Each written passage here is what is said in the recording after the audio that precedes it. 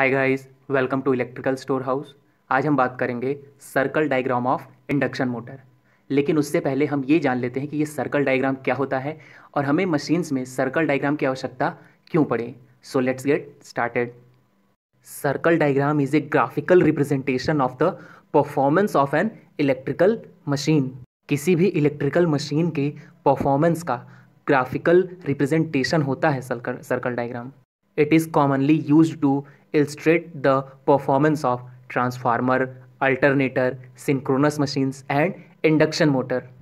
Circle diagram का जो डायाग्रामेटिक representation होता है ये बहुत इजी होता है समझने और याद रखने के लिए compare to theoretical and mathematical descriptions हमें सर्कल डायग्राम की आवश्यकता ही क्यों पड़ी?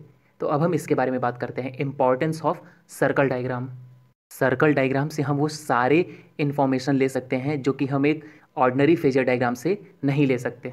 नॉर्मली जो हम फेजर डायग्राम ड्रॉ करते हैं या बनाते हैं, वोल्टेज और करंट के बीच वो केवल सिंगल सर्किट कंडीशन के लिए होता है। यदि हम कंडीशन को चेंज करते हैं तो हमें दोबारा से फेजर डायग्राम बनाना पड़ता है। लेकिन सर्कल डायग्राम में क्या होता है? एक ही सर्किट बना करके हम सारे इन्फॉर्मेशन ले सकते हैं सर्कल डायग्राम से। इसीलिए हमें सर्कल डायग्राम की आवश्यकता पड़ी। मतलब एक ही सर्कल डायग्राम बना करके हमें उससे, उस मशीन के बारे में जितनी भी इन्फॉर्मेशन लेनी है, वो हम एक ही बार में ले लें। कंडीशन चेंज करने पर बार बार नए फेजर डायग्राम बनाने की आवश्यकता न पड़े। इसीलिए हम सर्कल डायग्राम का यूज़ करते हैं। अब हम बात करते हैं पार्ट्स ऑफ़ सर्कल डायग्राम कि सर्कल डायग्राम के कौन कौन से पार्ट्स हैं। तो इसके देखिए तीन मेन पार्ट्स होते हैं। एक होता है मैक्सिमम आउटपुट पावर एक होता है मैक्सिमम टॉर्क और एक होता है मैक्सिमम इनपुट पावर यही तीनों सर्कल डायग्राम के मेन पार्ट्स हैं। जैसा कि आप इस फिगर में देख सकते हैं, यहाँ पर एक सर्कल डायग्राम बना हुआ है और इसके मेन पार्ट्स यहाँ पर दर्शाए गए हैं। Maximum output power maximum torque maximum input power circle diagram कुछ इसी प्रकार बनता है।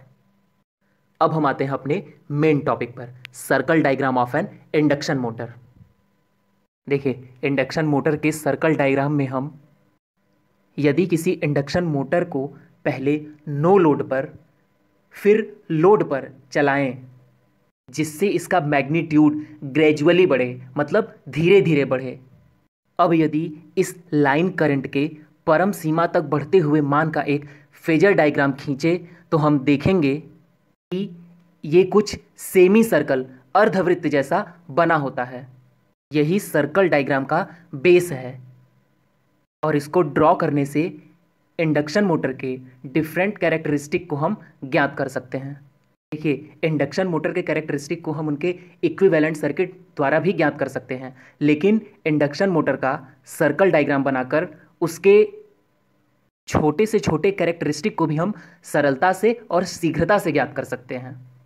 जैसे मोटर की एफिशिएंसी नॉर्मल कंडीशन में मोटर का input stator losses stator copper losses, rotor copper losses, rotor output, slip, speed, power factor, torque, maximum torque, maximum output, maximum input, and constant losses. ये सब हम सर्कल डायग्राम से ज्ञात कर सकते हैं। इंडक्शन मोटर का जो सर्कल डायग्राम होता है, वो इंडक्शन मोटर पर किए जाने वाले टेस्ट, जैसे no load test, short circuit test, stator के डीसी रेजिस्टेंस टेस्ट से प्राप्त आंकड़ों द्वारा ही हम इंडक्शन मोटर के सर्कल डायग्राम को बना सकते हैं मतलब खींच सकते हैं। इंडक्शन मोटर का सर्कल डायग्राम कुछ इस प्रकार से खींचा जाता है, ड्रॉ किया जाता है। आप इस फिगर में देख सकते हैं।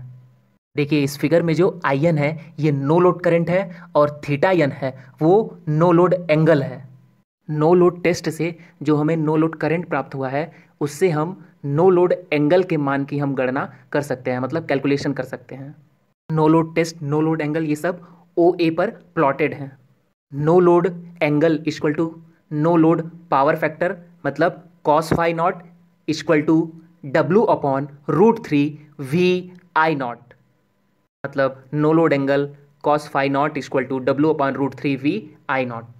अब ये जो लाइन ओ सी है उस पर हमें शॉर्ट सर्किट करंट और ब्लॉक रोटर टेस्ट से प्राप्त एंगल है। थीटा बी ठीक है देखिए थी, थीटा बी बना हुआ है ना? The right bisector of the line A C is drawn which bisect the line. And it is extended to cut in the line AE which gives us the center.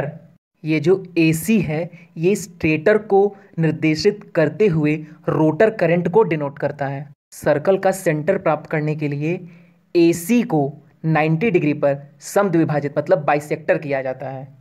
Induction motor के equivalent circuit से हम stator current का मान calculate कर सकते हैं which we get from the two test that current is plotted in the circle diagram according to the scale with touching origin and a point in the circle diagram which is shown by B जो A C है, ये power line है।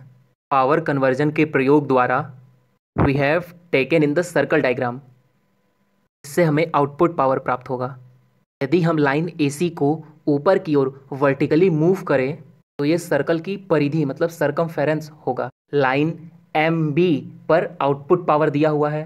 Line G M पर total copper loss दिया गया है। Torque line बनाने के लिए टोटल कॉपर लॉस को सेपरेट अलग करना होगा। मतलब रोटर कॉपर लॉस और स्टेटर कॉपर लॉस को।